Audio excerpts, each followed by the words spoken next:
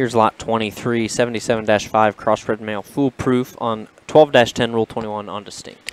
Yeah, so the actually the uh, the 1210 would be out of the first litter Rule 21s ever.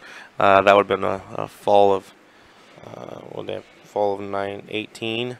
Um, and she in, in her first litter she had that $13,000 Sweethearts Gilt in 2020 that won several of those jackpots and did well on the circuit in Indiana. And then I think you know was high placing first, second, or class in Indiana, and then went on to work for the Ottenwalder firm.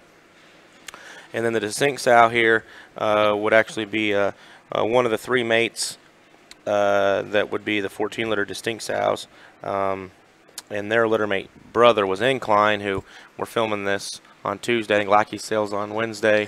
but um, Incline's uh, had a, you know, the, the lot one and two on Lackey's sale would be out of Octagon, who was an inclined son. So, I mean, it, it's neat. You know, I, I, talk about pedigrees more than most. Uh, I, I just try to, to see, I, I, like stuff that goes and works for other folks. And, uh, you know, um, not, not, that these two are, are, you know, they're, they're, they're boar still. They can be whatever. But I, I do think uh, the female side of things has, has a lot of value and feedability and predictability. Yeah, this one uh, specifically, lot 23, I think, uh, looks like, again, the type that can be pushed on uh, as far as uh, feedability and, and, flexibility and range of motion and, and look from the side. I think uh, long fronted and stout um, really, really takes a long step with his hind leg and plants it square.